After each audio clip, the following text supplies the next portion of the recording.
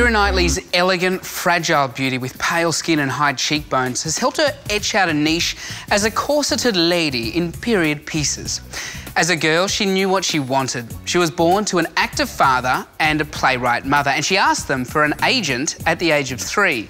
They gave her one at six. She got her first big break when she was cast as the decoy queen in Star Wars Episode 1 The Phantom Menace because she looked so similar to Natalie Portman. But it's her rough and tumble tomboy ways that first got her noticed in the little independent British film turned global smash Bend It Like Beckham. I loved it. It's sort of really girl power, and that you know is so great because I think um, there's a big thing in England about girls not being able to play football, and it's just a great script to say, yeah, we can all do this, you know, and it just shows everyone that I think you know football's a game for everyone, and you know it's something it's something that everyone can do and, and find fun. Part of Bend It Like Beckham's success internationally was due to the film's re-release in the States after Pirates of the Caribbean The Curse of the Black Pearl came out. Keira's gutsy performance as the no-nonsense Elizabeth Swann got great reviews. Even though before filming began, Keira was so sure she'd get fired, she only packed enough clothes to get through a week or so. But she didn't get sacked, and the workload turned out to be bigger than she'd expected. When I first read the script, I was like, oh, this is going to be easy. I'll, I'll sit in the back of carriages, I'll wear pretty dresses, I'll pout a bit, you know, it'll be fine. But actually, I've had a lot of a lot of stunt work to do, um, which for somebody as lazy as me has been rather challenging. It seems Keira enjoyed the challenge, doing more of her own stunts when she took on the role of Guinevere in King Arthur. In preparation, she went to boot camp, where she learned how to ride a horse, swing a sword, fire an arrow, and throw a punch. If you're going to do an action movie, it gets really, really boring if you don't do the action because it means you sit around for hours and hours and hours on end. Um, I, I was lucky enough to actually have two, two or three weeks off prior to the big fight scene.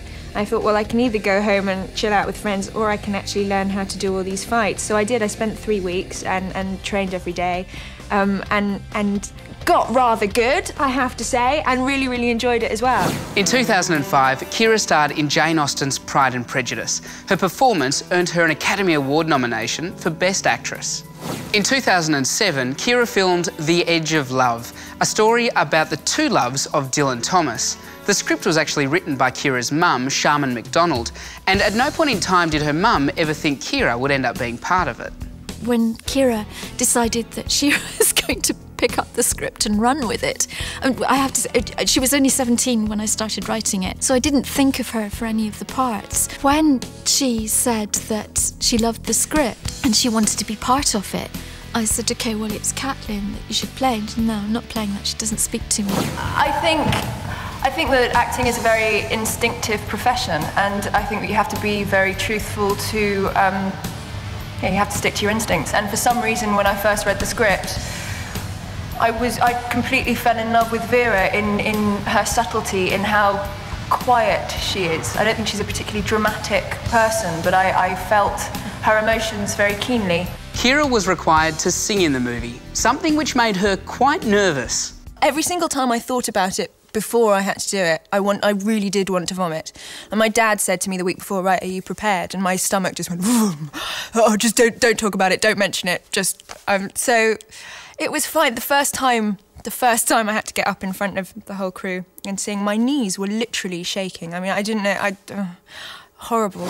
With Pride and Prejudice, Atonement, and The Duchess, Knightley's proven herself as the actress of choice for period films. What I love about doing period films is that you can take these people who lived kind of about 300 years ago, who dressed in these ridiculous ways, who lived in these very different societies, and yet you can still completely understand them today. You know, you can still look at them and, and totally get the, the things that they're going through. So I, I think that's kind of wonderful because you get a sort of fantasy aspect where you can dive into the film and it's not what we experience on a day to day level, and yet you completely understand on an emotional level what they're all going through. As comfortable in a pub with mates as she is gracing the cover of Vanity Fair magazine, Keira Knightley's rise to fame has been meteoric. She's a champion of human rights, she's got natural comic ability, and her It Girl status has put her in a position of being loved by fans and desired by directors. Stay tuned to Star Picks for all the movies you know and the actors you love, broadcast in glorious high definition with 5.1 surround sound where available. For more of the best in entertainment news, check out your movie network channels. It's altogether better, on screen and at mnc.tv.